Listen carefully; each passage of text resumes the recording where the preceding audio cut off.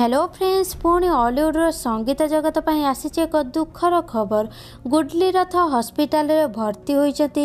ଗୁଡଲି ରଥ ହୃଦଘାତରେ ଅସୁସ୍ଥ ହୋଇପଡ଼ିଛନ୍ତି। ବର୍ତ୍ତମାନ ଗୁଡଲି ରଥ ଭୁବନେଶ୍ୱର ଏକ ଘରୋଇ ହସ୍ପିଟାଲରେ ଚିକିତ୍ସିତ ହେଉଛନ୍ତି। ଛାତିରେ ଯନ୍ତ୍ରଣା ଅନୁଭବ ପରେ ତାଙ୍କୁ ହସ୍ପିଟାଲରେ ଭର୍ତ୍ତି କରାଯାଇଛି। ଏହି ବିଷୟରେ ଅଭିନେତା ଶ୍ରୀତମ ଦାସ ସୂଚନା ଦେଇଛନ୍ତି। କି ଗୁଡଲି ରଥ ବର୍ତ୍ତମାନ ଭୁବନେଶ୍ୱର ଏକ ଘରୋଇ ହସ୍ପିଟାଲରେ ଚିକିତ୍ସିତ ହେଉଛନ୍ତି। ଯାହାକି ତାଙ୍କ ଛାତିରେ ଯନ୍ତ୍ରଣା ଅନୁଭବ କରୁଥିଲେ। ଏହାପରେ ତାଙ୍କୁ ଭୁବନେଶ୍ୱର ଏକ ଘରୋଇ ହସ୍ପିଟାଲ ନିଆଯାଇଛି ଆଉ ବର୍ତ୍ତମାନ ସେ ଚିକିତ୍ସିତ ହେଉଛନ୍ତି।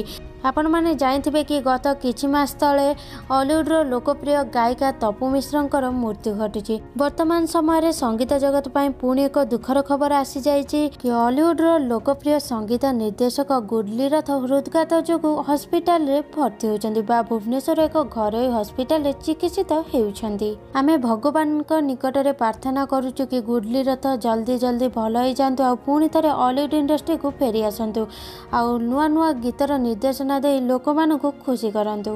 ତାହେଲେ ଫ୍ରେଣ୍ଡସ୍ ଆପଣମାନଙ୍କୁ ଗୁଡଲି ରଥ କେମିତି ଲାଗନ୍ତି ବା ତାଙ୍କ ଗୀତ ଗୁଡ଼ିକ ଆପଣମାନଙ୍କୁ କେମିତି ଲାଗେ ଆମକୁ କମେଣ୍ଟ ମାଧ୍ୟମରେ ନିଶ୍ଚିନ୍ତ ଭାବେ କମେଣ୍ଟ କରନ୍ତୁ।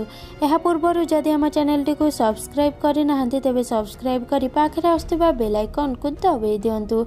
ଏହିପରି ଅଲିଉଡ଼ର ଟିକିନିକି ଖବର ବିଷୟରେ ଅଧିକ ଜାଣିବା ପାଇଁ।